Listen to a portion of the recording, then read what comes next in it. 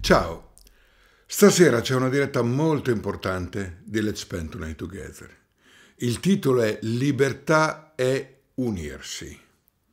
Abbiamo passato un periodo tremendo dal 2020 in poi, soprattutto i primi due anni, chiusi in casa forzatamente, non si poteva andare in certi luoghi se non avevi un determinato lasciapassare verde, eh, parecchi si sono sentiti ricattati, alcuni l'hanno fatto con entusiasmo, ma altri ricattati e quindi hanno dovuto accettare delle imposizioni sanitarie, eh, mentre c'era tutta un'area di persone che rivendicavano la libertà che dà la Costituzione di scegliere come curarsi. È stato un periodo importante per il regime, perché? Perché ha applicato quello che dicevano i, i romani, divide e timpera, cioè dividili e comandali. Siamo stati divisi, contrapposti gli uni agli altri. Prima quelli che erano considerati dissidenti erano attaccati da quelli che seguivano la scienza, Dopodiché, ultimamente, visto i risultati che ci sono stati, su cui non entro in merito, quelli che sono stati vessati a, loro volta attaccano quelli che li vessavano prima, facendo un errore clamoroso. Perché? Perché continuano a perpetrare il divide e timpera. In tutto questo periodo io eh, sono sempre stato, fin dall'inizio, fino a quando l'ho incontrato, amico di Cateno De Luca Ogni tanto eh, trovavo qualcuno che diceva come fai tu a essere amico eh, di questo che nel periodo brutto eh, spingeva le persone a dover stare in casa, eccetera, eccetera. Uh, in, realtà, in realtà lui ne abbiamo parlato, non abbiamo mai parlato, tranne una volta lui mi ha accennato, sai, io ero costretto a seguire eh, le leggi. ok?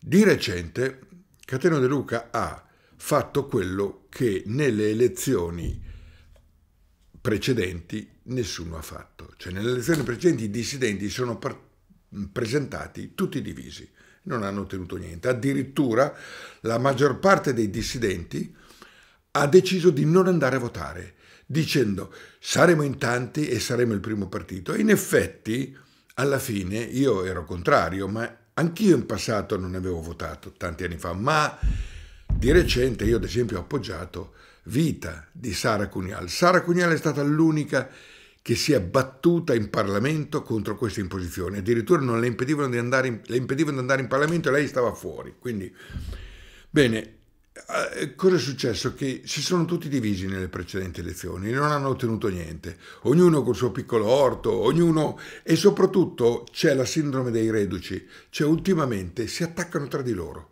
Cioè quelli che erano dissidenti, che in teoria dovevano essere aiuti, si attaccano tra di loro. Fra l'altro molti hanno detto non andiamo a votare, come dicevo prima, no? E alla fine io dicevo no, ma non serve, perché anche se va a votare il 5% della popolazione, chi viene eletto governerà comunque. Difatti, dopo le elezioni, sentivo alcuni dicevano siamo il primo partito, quelli che non sono andati a votare il primo partito, al che io ho detto ok, quali leggi fate? Eh, in che senso? Sì, siete il primo partito, che leggi fate? Come cambiate l'Italia? Uh, uh, governano gli altri, quelli che sono in minoranza, quelli che sono andati a votare hanno votato per quei partiti. Quindi a cosa è servito l'astensione? A niente. Recentemente Cateno De Luca ha fatto un'operazione incredibile che non era riuscita a nessuno. Ha messo insieme tutti i dissidenti, lui partendo da un partito che aveva creato Sud chiama Nord, in realtà ha creato una lista per l'Europa che si chiama Libertà. E ha unito varie persone. Io sono stato stupito all'inizio che Sara Cunial avesse accettato io l'ho consigliata di farlo, ma che avesse accettato. E a questo punto sono arrivati i video, mi arrivano tutti i video di quello che diceva Cateno di Luca nel tempo della pandemia, di tutte queste cose, come fa Sara Cugnal si è venduta per una poltrona. Bene, eh, Cateno De Luca ha fatto un, una foto con Sara alla presentazione dicendo in pratica la frase, no? Io posso anche non essere d'accordo con te, ma mi batterò fino alla morte perché tu possa esprimere le tue idee. In realtà poi alla fine, quando c'è stata la presentazione a Roma un paio di giorni fa, l'intervento di Cateno De Luca quando ha chiamato sul palco Sara Cunial è stato esemplare. Eccolo. Abbiamo avuto anche l'adesione di Vita Sara. Non l'ho vista Sara, forse se la stanca. Dov'è? Boh. Sara. Ciao, vieni qua un attimo, vieni qua Sara, vieni qua. Anche perché, vieni qua. Lunedì, lunedì saremo da Red Ronnie. Eh sì,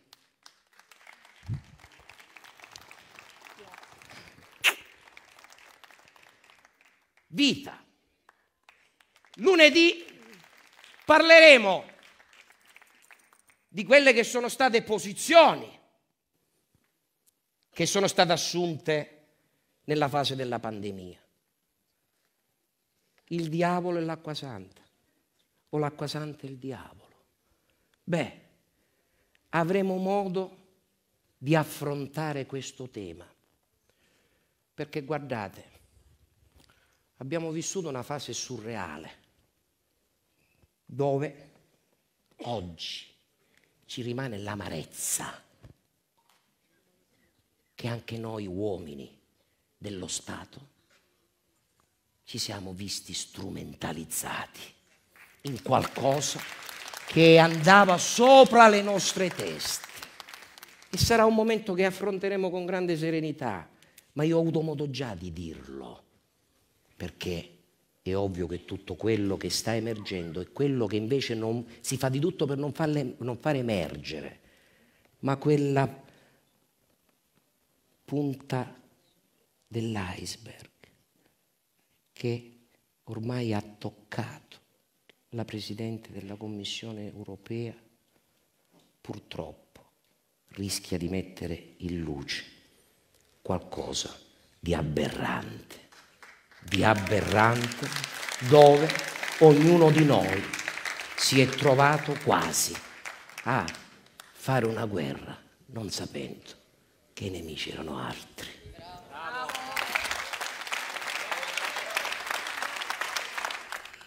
Catena De Luca quindi ha ammesso anche lui di essere stato ingannato. Ingannato da un sistema, da un sistema che oggi vede la von der Leyen indagata per i rapporti con, eh, con questo colosso americano della farmacologia.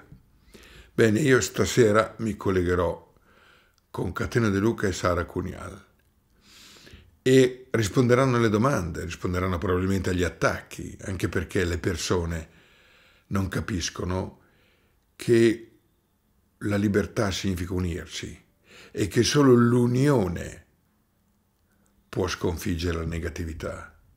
Per quello poi stanno attaccando la famiglia. Non c'è cosa di più unita di una famiglia. Per quello stanno cercando di massacrare, stanno cercando di spaccarla, di dividerla. Ok? Prima mi collegherò con Marco Mazzoli, dello Zodi 105, che è a Miami. Magari gli chiederò anche cosa sta succedendo in America per quanto riguarda l'eclisse, perché c'è questa eclisse di cui tutti hanno paura, di cui tutti parlano, no? E poi parleremo anche di altre cose con Marco, di quello che sta succedendo in America. Quindi ci vediamo questa sera a partire dalle ore 21 sulle mie pagine redroni.tv, YouTube, Facebook, Twitch, Twitter che si chiama X e Instagram. Ti aspetto e mi collegherò appunto con Marco Mazzoli, poi Cateno De Luca e Sara Cunial insieme sarà molto interessante e ricordati, ricordati, contrapporsi non serve a niente, giudicare non serve a niente. Se giudichi sarai giudicato. Bisogna comprendere. Ok? Fra l'altro Cateno De Luca mi diede una grande mano quando facevamo un'operazione a Messina dove io non accettai di mostrare il Green Pass, che peraltro avevo, perché avevo appena fatto un, un viaggio in aereo. Tutto questo per pubblicizzare il museo di Messina dove c'erano due Caravaggio che nessuno sapeva. Ci vediamo questa sera. That's all folks. Let's spend tonight together.